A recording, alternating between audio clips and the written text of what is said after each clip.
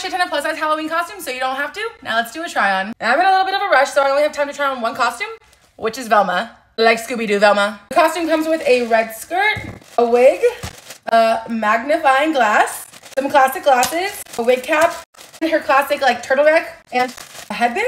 A little pro tip, if you don't want to get makeup on your turtleneck, grab like a bandeau or like any piece of cloth and just go like this. Basically block your chin. You get what I mean? Ta-da! Okay, top is on, now let's see how the skirt looks on my apron belly. Incredible. The skirt is immaculate, like she fits perfectly. Now time for the wig. No need for this. Everyone say hi to my own personal Scooby-Doo.